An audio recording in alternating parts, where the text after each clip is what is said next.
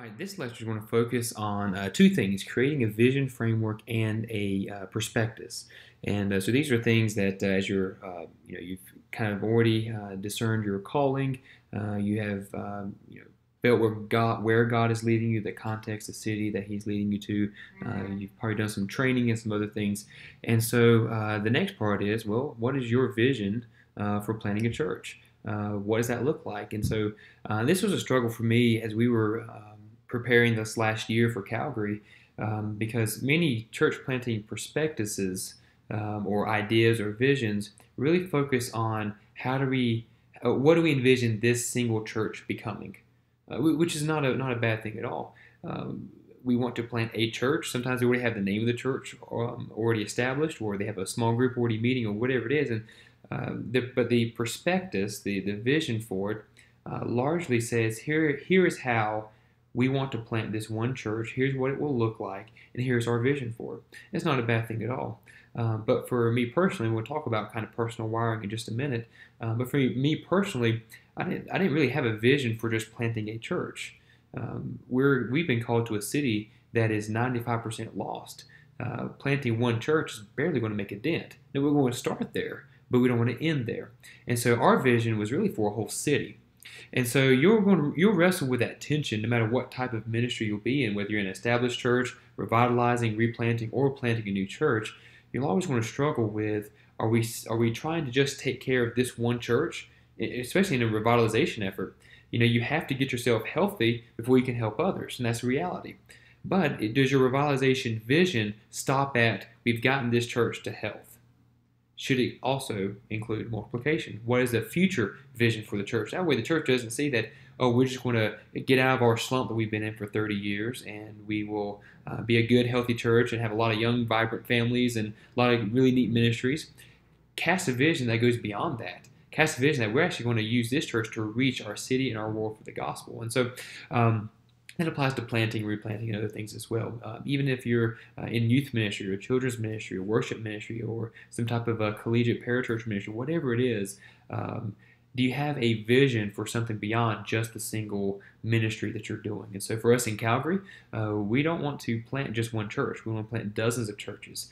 And uh, I'll explain uh, once we get to my sample of a prospectus. You'll see that in a second. Uh, but let's start, first talk about creating a vision framework. Uh, now, there's a book called uh, Church Unique, written by Will Mancini. And I don't have the dust jacket on, but I think you can see that okay. So it's called Church Unique uh, Will Mancini. Uh, fantastic book to read before you jump into any type of ministry, um, uh, church planting, revitalizing, or pastoring an established church. You need to read this book. Okay, uh, I was very close to making it required. Um, I couldn't see how it really fit as a whole book in this class, but it may be something that I have uh, I'll use in another class. But it's a great book about creating a vision framework, uh, not just saying we want to glorify Jesus uh, by doing some good things in our city. Well, that's not a bad thing, but what is that statement? Is that your vision statement or is that a mission statement?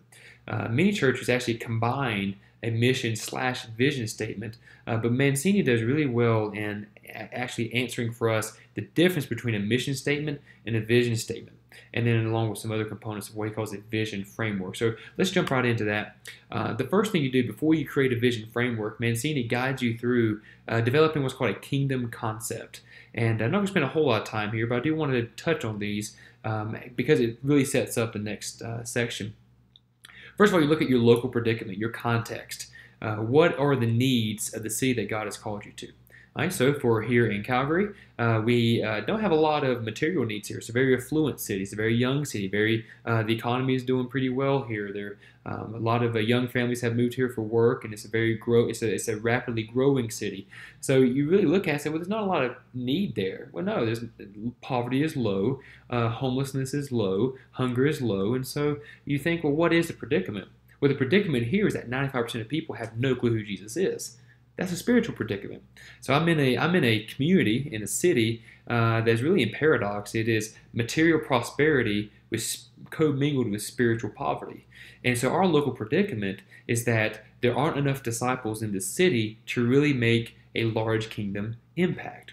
And so we need more Christians and we need more churches. So that's our local predicament is that we need more uh, uh, disciples, leaders, and churches here in the area. Well, then you look at collective potential. Collective potential looks at your team. Now, uh, for us, we are we we have a very very small church planting team. Me, my wife, my 20 month old son, and our dog. And then we have a uh, graduate student who um, is at the seminary nearby. She moved up from Calvary in Winston-Salem uh, to join us. Uh, and then we have another gentleman uh, who's actually in uh, this class during the time I'm recording now, Nokomis, who is looking to come up later uh, in the year and do some summer work and then maybe start class in the fall. And so our team is very, very small. We have a very small church planting team because we want more of our team to come from the harvest, to come from lost people we're discipling to become uh, part of this new church. Uh, and plus, with crossing over to a new country, it's hard to bring 25, 30 people for a, a core group with us um, because it is a 2,700 mile trip across uh, to another border and not just uh, going to a neighboring city. And so visas and different things come into play. Um, so for us, we have to look at what is our team dynamic, and we haven't all got together as much yet because we literally just moved here. Um, but even for my wife and I, we started discussing what is the potential between uh, me and my wife for leading in this new work? What is our heart? Uh, what kind of skills do we have? Uh, we've talked in other classes about the APEST, apostle, prophet, evangelist, shepherd, teacher. Which which which are my my my role, my gifting? What are my wife's spiritual gifts? Uh, what are my strengths and hers? And then those on our team as well. So you look at those uh, concepts as well. You look at what is the potential that is in our team. And the third thing you look at is your leadership passion. Uh, what do you as a leader have a heart for? And so for me personally, I've just mentioned how I didn't want to just plant a church. I want to plant dozens of churches. I want to be a part of planting several churches. I want to uh, plant the first church and then raise up a leader very quickly to take my place and we move on to another area. Okay, and as we're doing that, we're also sending out new people. And so, my passion really is not to plant a church and be there for 20, 30 years, which that's a great thing. Many pastors have done that, and they have become uh, church multiplication centers, which is great. I'm just not personally wired for that. Um, I, I can't stay settled somewhere for longer than three or four years. And so, we have enough room in Calgary to move around, um, but that's, that is my heart, my passion. And so, we take all those concepts together uh, Mancini walks you through how to develop a kingdom concept for what God wants you to do. And this really plays in and lets you uh, transition into uh, creating your vision, uh, your vision statement. And so for us, with our, our predicament of uh, high level lostness and not enough churches, our collective potential of being very small, but desiring to raise from the harvest and using the gifts that we have, um, and then my passion for wanting to raise up, our kingdom concept simply is we want to collaborate with other churches to raise up more leaders, to raise up more disciples. You'll see in our mission statement uh, in a little bit is we want to multiply disciples, leaders, and churches. We want to do that in collaboration with the handful of churches that do exist. We want to meet the Christians who are here, uh, the 5%. We want to meet some of those and have them help us and train uh, to do uh, expand even more in our evangelism. So our kingdom concept becomes almost this paragraph statement uh, and I've got mine handwritten somewhere in a box. I can't, uh, I couldn't, I, I, couldn't find it before uh, recording this. Uh, but our kingdom concept was essentially because of the dire need of more churches for Calgary, we must collaborate with other churches in order to see more disciples, leaders, and churches started, uh, more disciples raised up, more leaders developed, more churches started. So that was our kingdom concept. So Mancini walks you through this, and then he helps you develop what's called a vision frame. So picture this um, actually like a picture frame would be. Uh, you have the middle picture. Uh, maybe it's a, a, picture of a you and your significant other, or you climbing a mountain, or whatever it is. You have your your your your snapshot in the middle, and then you have four pieces of a frame that outline your um, picture. And so here is the vision frame. So you can see your vision is kind of like the picture in the middle, and the frame edges are your mission, your values, your measures, and your strategy. And so Mancini has a chapter for each of these and walk you through it. gives you the questions to ask, gives you samples. It's, it really is fantastic. And I actually used the book as I was developing our own vision framework uh, for Calgary. And so I'm going to show you a sample of mine in just a minute, but let's walk through these and uh, look at each component. And I'm going to walk kind of through the suggested way that he suggests uh, starting with first. You actually don't start with your vision first. Vision is actually last. You start with your values. Why are we doing what we're doing? my wife and I had to stop and ask, why are we moving to Calgary? Why are we selling our home in North Carolina? Why are we selling a car? Why are we fitting out um, extra clothes and toys and furniture and that sort of thing? Why are we doing this uh, to go to Calgary? And so our values really come down to what we hold deep down as core beliefs. And what we, so we do value things like scripture. We value things like prayer. We value things like the working of the Holy Spirit. And even as we were developing a vision framework, um, I put them down and I'll show you in just a second, but six statements that start with every. Um, and uh, so we had different values that we valued multiplication, we valued collaboration, we valued diversity, we valued gospel centrality. Oh, sorry for that. It's going to pop up again, I bet. Okay. Sorry for that. Um, my I, we don't have internet at the house right now, so that pops up and does crazy things. All right. So, anyways, back to values. Why are we doing this? This is a really good, honest thing to ask yourself early on in the process. So, why am I going to Calgary? Why am I going to Seattle? Why am I going to Hamlet, North Carolina? Why am I going to New York? Why am I going anywhere? Why am I staying right here? Why am I going to this church to revitalize? Why am I joining this uh, potential merger to replant a church? Why are we doing this? Well, we we we value gospel transformation. We value multiplication. We value uh, collaboration. We value uh, mobilizing lay leaders for ministry. So those are some of our core values. And each um, each church has its own unique set of values. Uh, Calvary Baptist in Winston Salem, um, they they are a in a revitalization. Their values really stem from what was going on in the church and what the church already valued and what the church should be valuing.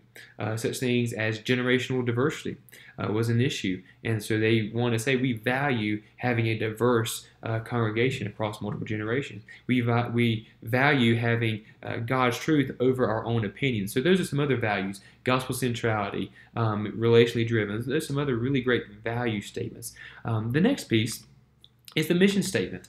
And this is answering the question what are we doing? And the mission statement, this is key, write this down. Your mission statement is your local church's own version of the Great Commission. Okay? So your mission is the Great Commission. It is to make disciples of all nations by going, baptizing, and teaching. We talked about this in, in the previous class on disciple making in North America. And so your mission is your your mission statement is basically your own unique restatement of the Great Commission. So, for another example, since we just talked about Calvary, their mission statement is connecting people to Christ and community. That's it. You want it short, you don't want it long. You want it somewhere between five and maybe 15 words. Um, but your mission statement says, well, what are we doing? Well, for Calvary, they are connecting people. Okay, tells you who you are. Connecting people to Christ, evangelism, sharing that's sharing the gospel, it's making disciples, connecting people, and that also includes worship, connecting people to Christ and to community. And for them, that means both their local community, their church community, and the community at large. So they connecting people to community means inviting them in for joint worship, for Bible fellowship, for discipleship relationships, and that sort of thing. And so your mission statement answers the question, what are we doing? Next, you look at your strategy. Well, how are we going to do it? What does it look like for us to enact and see this mission happen? So your mission says, well, if we want to see this happen, we want to connect people to Christ and community, like Calvary said. Then what is our strategy? How are we going to do it? And so for for uh, for uh, Calvary to continue the example, uh, they have what they call an evangelism discipleship pathway, and in that pathway they want to connect people, and this is they they they, they use this a lot. They want to connect people up in and out, connect people out through evangelism, connect, or connect connect people out to others through evangelism and service, connect people into each other through discipleship, and connecting people up to God in worship. So that is their strategy. So everything they do as a church revolves around how you're connecting people in to each other, out through mission and service, and up to God in worship. So nothing else creeps in that doesn't fit with that strategy. Because for them, for them to connect people to Christ and community, they have to have a way of doing it. So that is what your strategy is. And then next is your measures. When are we successful? How do you know that your uh, mission has been accomplished? How do you know your strategy is working? We have measures. You ask yourself, well, when are we successful? Are we successful when we have, um, you know, 10% of our congregation sharing the gospel monthly? Well, that's kind of what's been happening uh, in the U.S. and Canada for a long time now, and that needs to change. We're we're losing uh, North America um, uh, away from the gospel, and so how are you going to measure what uh, what is success for your church? And so it's really good to give your strategy um, and your values kind of line up and say, okay, do we actually see diversity happening? Are we having, um, you know, our, um, our members having three gospel conversations a week? Maybe that's part of your measures. Okay, when we have 50% of our congregation sharing the gospel three times a week, uh, then we know that we've made some progress. And if you got to that point, you are doing great. Trust me, that would be a, actually a really good number for where we are now, sadly. Um, so your measures are simply asking, when are we successful? And then that leads us to our vision. Where is God taking us? So you you create the four, you create the frame first. Remember, if you're if you're putting a picture together to hang on a wall, you get the frame established first, then you put the picture in it and hang on the wall for everyone to see. So your vision is simply asking the question, where is God taking us? And this is where it's different from mission. Mission says, what are we doing? Vision says, where? Okay? What versus where? And so, vision, where is God taking us? Here's a definition that Mancini gives for vision proper there in the middle. Vision is the living language that anticipates and illustrates God's better intermediate future. Okay? And so, in the book, he gives kind of examples of um, you know, how, how to differentiate between vision and mission. I want to pull that up here and just kind of read those off just to kind of show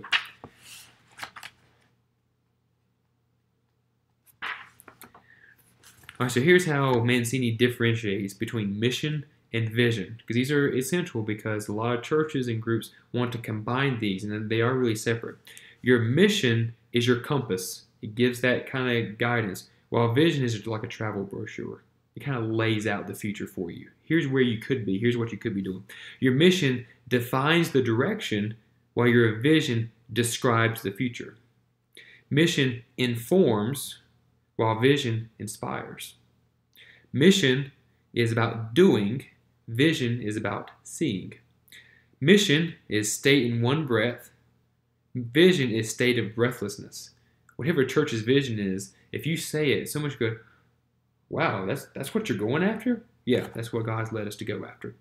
Uh, mission directs energy. Vision creates energy. It is that vision statement that invigorates your people to want to be a part of what uh, God has led you to do.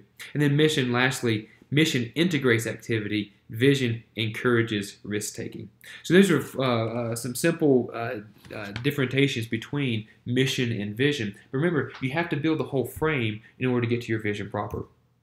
So let's transition now to discussing a perspective. We talked about kingdom concept that helps us develop, develop a vision framework, which then leads us to creating a church planting prospectus. Now, uh, as you know in the class, uh, you are making a prospectus. You're doing the background research for everything, and then you're going to put together something that's a little bit more of a kind of like a brochure explaining uh, the things that we have here. So, a church planting prospectus is a simple, straightforward document explaining your calling, your context, your vision framework, your team, and your partnership needs. Okay, so I'm going to show you an example of mine so you can kind of see uh, what this is. To have several other examples I'm going to have you look through in the class. They'll be uploaded in Blackboard, um, and you actually um, you'll be um, asked in the um, uh, on the Google Doc to actually research some other prospectuses uh, from other church plants. Um, and as as I mentioned before, we, we really had a vision for not just planning a church, but to reach a city. So the prospectus that I'm about to show you is really kind of our prospectus 1.0, and 2.0 is going to come out in about uh, three to four months once we have a little more things put together now that we are on the ground. Um, but a prospectus really is used whenever you are getting ready to meet with uh, maybe a church that wants to maybe partner with you in some way, maybe financially or through some other resources, or maybe even sending some people. Uh, the pastor and the leaders, they're going to want to know what you're up to. They want to know a little bit about yourself and a little bit about what you believe. They want to hear your vision for what God is calling you to do. Uh, and so the prospectus document is actually like a, it could be a, maybe a, just a regular uh, couple sheets of paper stapled together. Uh, mine is right now until we develop 2.0. Um, it could be more like a brochure. Uh, that's really nicely designed and with graphics and really well put together. Uh, so there's many different versions. Um, the first one that I have is actually a website, and I still have it. If you look at uh, christand.city, um, that is actually our website for Calgary. You actually see the whole vision framework um, and everything we have. The whole perspective is actually outlined um, in a, uh, a couple web pages. And so uh, I want to show you mine to see how we kind of laid out our calling, the context, the vision framework, the team, and our partnership needs. And so, um, so here's our uh, the kind of 1.0 version of our uh, vision uh, document. Um, essentially, we named it Saturate Calgary because uh, we don't have a church name yet. We wanted the, the new disciples that we gather to actually name their own church. Um, so we don't have a church name yet, and uh, we want to figure out a little bit more. But we really just had a, our kingdom concept, like I mentioned earlier, was we, we, we, really want to see uh, uh, Calgary just filled with the gospel, saturated with the gospel. Uh, we wanted to give a chance for every man, woman, and child in Calgary to have daily opportunities to hear, see, respond to the gospel. Uh, and so that kingdom concept led into our vision framework, which is now um, explained here. And so the first paragraph I have here is just simply a, a, a little bit of a note uh, of our family, the, the kind of last year that God has uh, been doing with us through the two different churches that were helping us, both 121 Church and Calvary Baptist in Winston. Um, and then we just affirm that God is calling us to plant a church in the Rockies, um, in, the, in the Canadian Rockies. Uh, so I have a few um, uh, insights there about the city. And so you see the graphic there on the bottom right that 95% of Calgarians do not know Jesus. Um, that's the negative side. The positive side is Calgary is a very growing city, it's a diverse city, it's a young city, it's a fluent city, it's a welcome city, it's an expanding city. So I want to give people an idea okay, so where is Calgary? Uh, Calgary?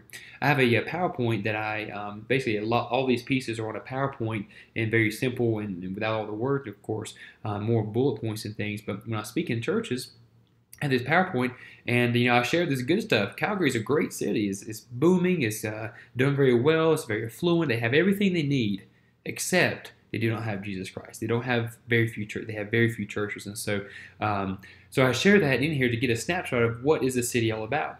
And so then we show the, the need there at the bottom. Yet with all the excitement, Calgary is 95% there, or there are over 1.33 million Calgarians who do not know Jesus Christ.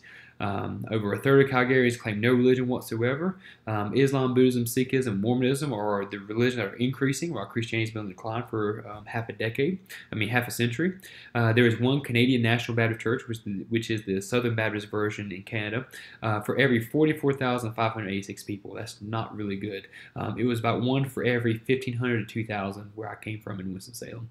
Um, and it's less than 5% of people who call Calgary home have been identified as evangelical Christians. Um, so there's a big need in Calgary. So you want to show. So uh, this is kind of the context a little bit. Um, the next, we uh, kind of really from there outline our vision.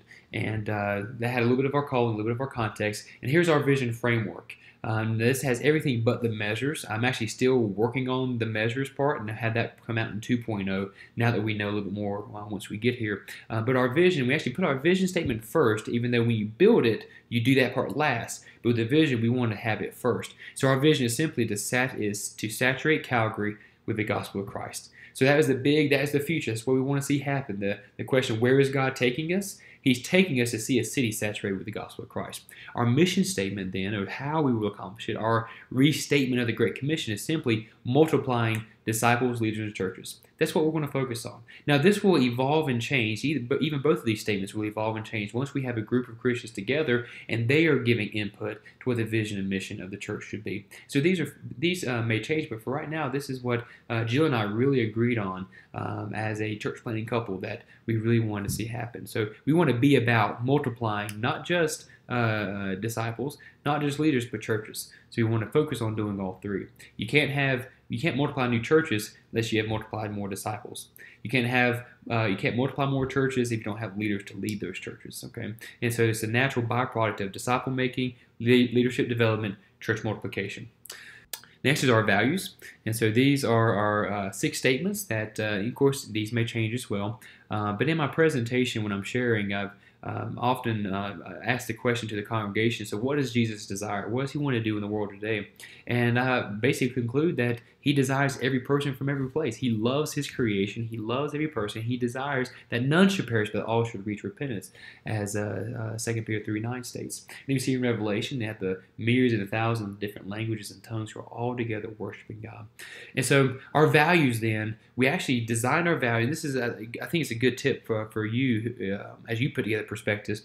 Um, what I try to do is make it sound like it would fit Calgary. So I started researching the city, looked at the, the city website, the development website, I just tried to saturate my mind in Calgary things, listening and reading articles and different things, and try to hear, okay, what are the things that they value? What does the website say that they really value? When I was up here and talking with people, I would ask questions related to our values. Um, the city is a very diverse city. Um, over 25% of uh, Calgary are foreign born. They're not from Canada, they're from somewhere else. And there are over 140 different, um, um, 140 languages and 240 ethnicities represented in this one city. So it's a very diversity, and they value that. So we wanted to value that as well. That's why you see our uh, next to last one is everyone is welcome to be part of God's family. That represents our value um, of diversity that mirrors theirs as well. So the first one is every man, woman, child needs Jesus. We value gospel transformation. Uh, we value that every decision depends on prayer.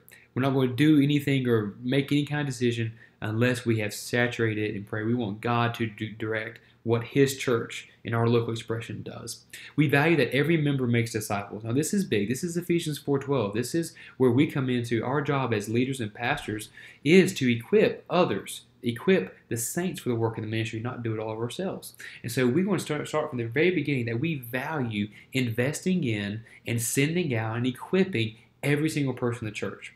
What I like to share when I speak about uh, Calgary is that uh, we want every man, woman, and child in our church to reach every man, woman, child in the community that God takes us to. Uh, the fourth one there, every place calls for presence. Um, this is our uh, really relates to the value that Calgary has as far as separating every everyone into very localized communities. So uh, the community, each community is five to twenty five thousand people, uh, and they have you know very clear boundaries. So when you when you come to Calgary and you you talk with someone, you say, oh, so where uh, where you live or uh, uh, what side of town? They don't say, oh, I'm from South Calgary, or I'm from North Calgary, I'm from downtown. They give you, I'm from Nolan Hill.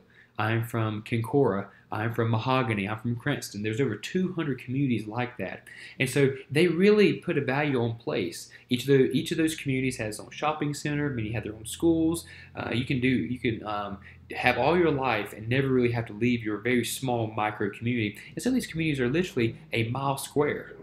You have five to 10,000 people packed in a mile square. Uh, our community is Nolan Hill that we just moved into. Uh, and it's, a, it's kind of a rectangle about a, a, mile, about a mile and a half long. And there's going to be 6,000 people. They're still building it. We're actually, you may even hear some of the uh, bobcats and diggers and things right outside my window. They're building a house literally next door to us.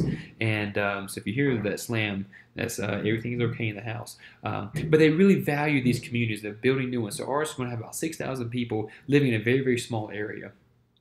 Uh, the fifth one there, where we mentioned everyone is welcome to be part of God's family. The motto of the city of Calgary. When you drive into Calgary, you see the sign. It says, you know, like welcome. To, it says Calgary, be part of the energy. And on their website, uh, their economic development website, the statement is everyone is welcome to be part of the energy. So the values they're, they're very pluralistic, they're very diverse, and so for us, that uh, our statement here, our value that everyone is welcome to be part of, be part of God's family, really mirrors uh, number one. Uh, it kind of mirrors in a way their their mission, uh, their um, uh, value statement of everyone is welcome to be part of the energy. So we just say, well, everyone is welcome to be part of God's family. Uh, it doesn't matter your socioeconomic status, your ethnicity, or even which community you come from uh, which country you come from that has led you to Calgary, you are welcome to be part of our church. Now, this is not this is not talking about membership. It's not saying that um, anyone can just come and automatically join. We we do have prerequisites for membership, such as salvation and baptism, and so forth.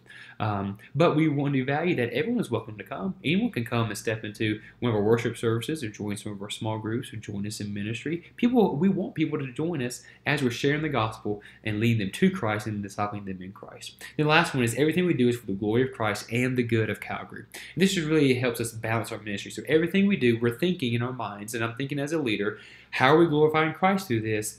And at the same time, bringing blessing to the city. How are we doing both? Because often we can say we want to do anything for the glory of God. That's really, really good.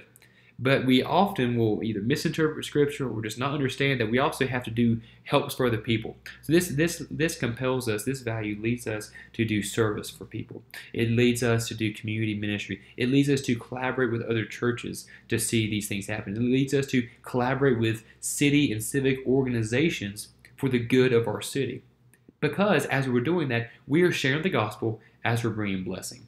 We are um, handing out a box of food, so to say, while we are sharing the gospel and loving them towards Christ. And so uh, that is our last uh, kind of uh, value statement. Here's our strategy, and I'll go through this uh, quickly. Um, uh, we're still defining this, and this, of course, all this is uh, subject to change once we have a group forming. but we really say that who we are, our identity is a gospel community. That is what we are. And out of that flow the three things, the three components of our strategy. And this really mirrors the connecting up in and out that I mentioned earlier. Uh, first one is gospel conversation. In a city that has 95% loss, we have to share the gospel verbally a lot. So we want to have gospel conversations with those who do not know Christ. We also want to have gospel conversations with the believers, with those who are in our church. We want to preach the gospel to ourselves and to each other every day as we practice one another's Scripture. We lift each other up in the in, in Scripture and in prayer, uh, and we encourage each other in our small group format. So we want to have gospel conversations happening all the time. Uh, we also want to celebrate the gospel together. We want to get together on you know Sunday morning, Sunday afternoon, whenever we can uh, find a meeting place and we have enough critical mass to start worshiping together in a, in a corporate worship gathering. We want to celebrate what God is doing. We want to worship God. We want to celebrate Him, and we also want to celebrate what's happening. Remember, our value is everything we do is for the glory of Christ and the good of Calgary. And so for that, we want to worship God during our celebration services.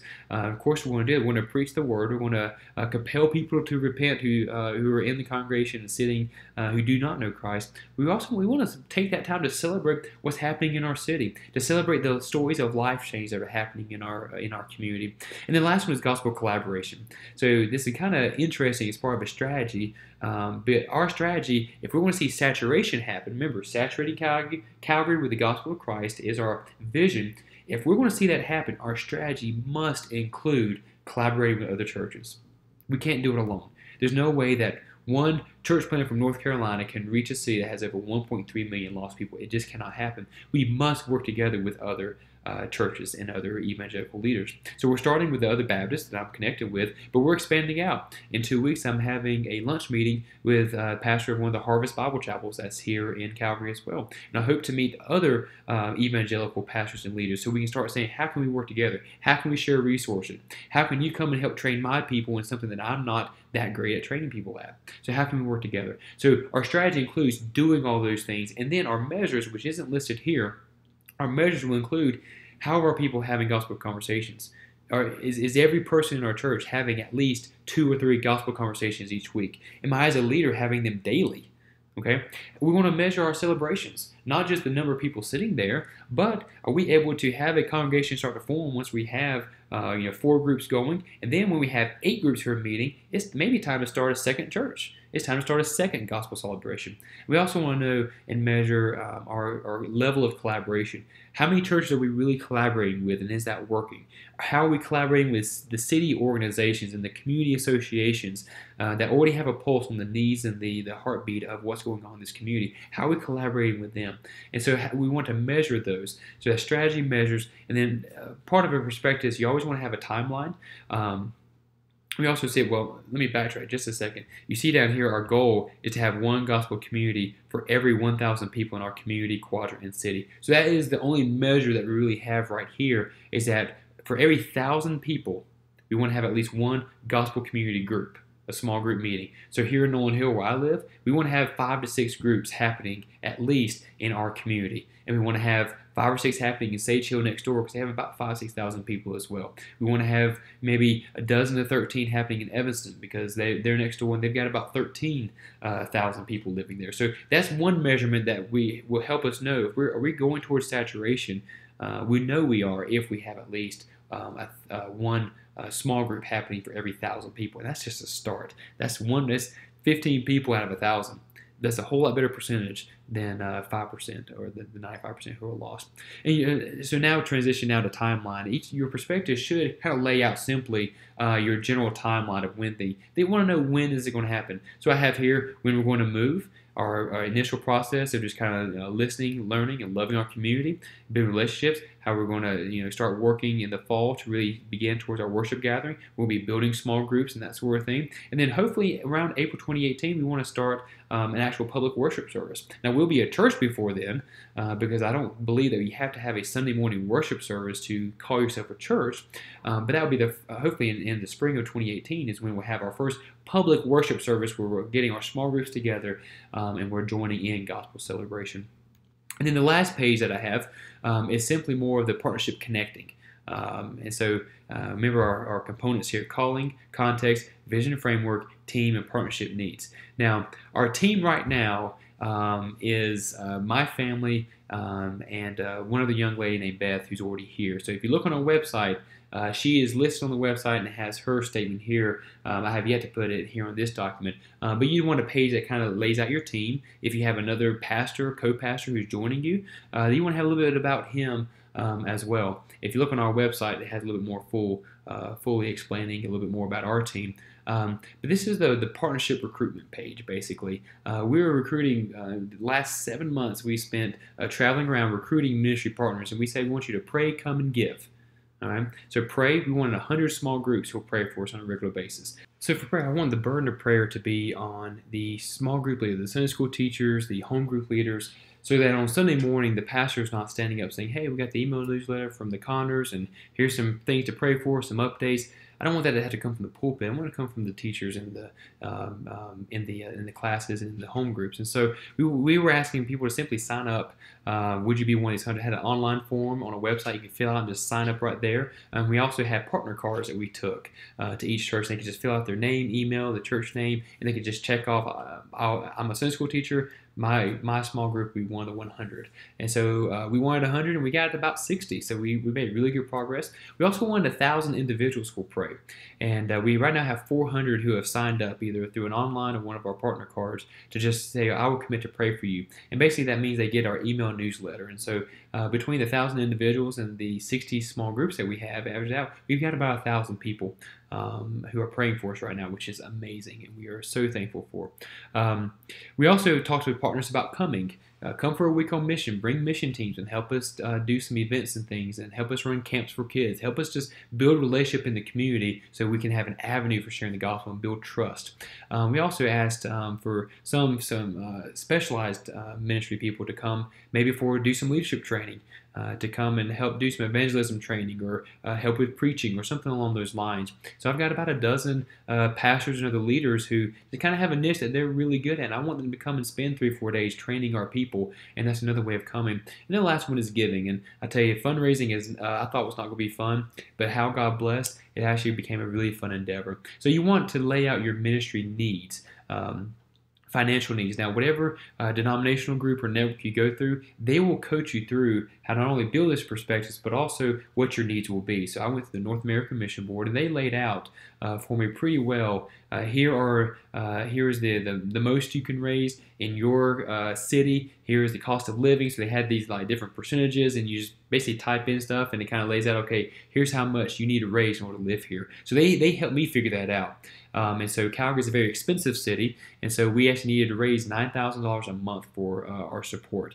Now this is not all uh, Uh, for my paycheck. Um, you see about 53.5% are for living expenses, um, and then 30% is for ministry expenses. The others are a different kind of insurance and kind of retirement type costs that we have as being uh, under the visa that we have here in Canada.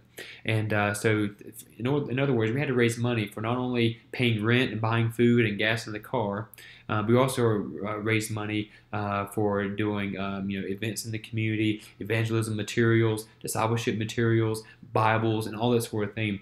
Uh, a printer, a scanner, that sort of thing, and paper and whatnot gas mileage, meals with lost people, all those type of things we were raising money for. And right now we're 97% funded, so we are fully um, able to be here for the first two years uh, with a much with the funding that we need.